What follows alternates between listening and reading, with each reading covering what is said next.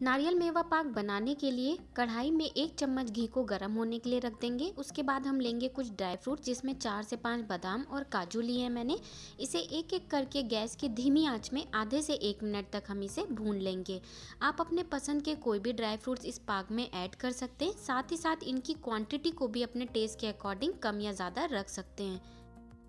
बादाम और काजू को भुनने में बहुत समय नहीं लगता है। जैसे ही बादाम भुन जाएँ तो इसे निकाल कर एक प्लेट में रख लेंगे।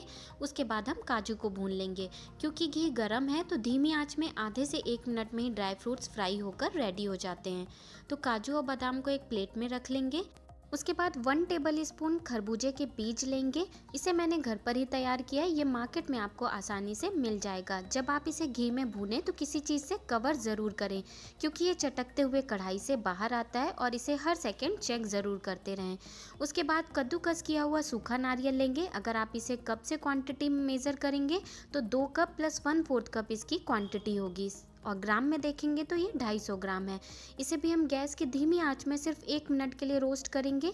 यहाँ पर हमें नारियल का कलर नहीं चेंज करना है, सिर्फ़ हल्का सा क्रिस्पी करना है और इसके कच्चेपन को ख़त्म करना है।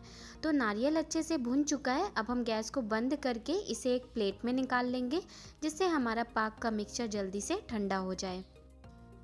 इसे ठंडा होने के लिए छोड़ देते हैं। अब हम शुगर सिरप यानी चाशनी बनाना शुरू करेंगे। इसके लिए एक कप हम शुगर लेंगे और इसमें आधा कप पानी ऐड करेंगे।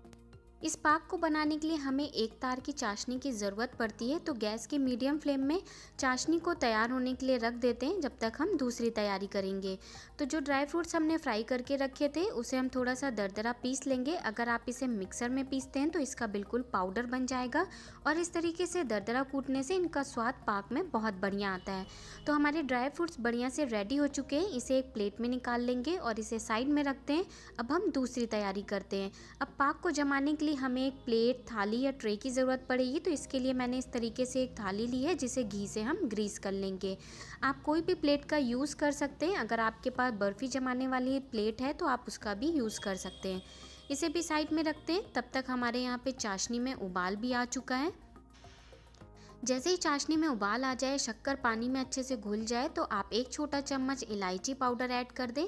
इससे चाशनी में कलर और खुशबू बहुत ही बढ़िया ऐड हो जाएगी। अब हम इसकी कंसिस्टेंसी को चेक कर लेते हैं कि इसमें एक तार बन रहा है कि नहीं। इसे चेक करने के लिए एक से दो ड्रॉप आप किसी प्लेट में निकाल लें, एक दो सेकंड के लिए इसे ठंडा होने दें, उसके बाद अंगूठे और उंगली के बीच इस तरीके से चेक कर लें। तो आप देख पा रहे एक लंबा तार इसमें बन रहा है, इसी कंसिस्टेंसी की हमें चाशनी चाहिए।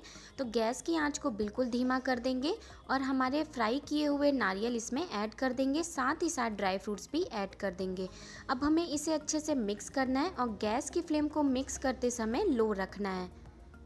एक से डेढ़ मिनट में ये हमारा पाक रेडी हो जाता है। अभी आप देख रहे होंगे कि मिक्सचर अलग है और चाशनी भी अभी हमें कढ़ाई में दिख रही है। तो जब तक ये दोनों चीज़ें आपस में मिक्स ना हो जाए, नारियल चाशनी को अच्छे से सोख ना ले, तब तक इसे मिक्स करना है। तो अब ये कढ़ाई को अच्छे से छोड़ चुका है। इसमें चाशनी भी नहीं दिख रही है और अगर आप इसे चम्मच से गिरा कर देखेंगे तो चाशनी और मिक्सचर अलग अलग नहीं, एक साथ गिर रहे हैं।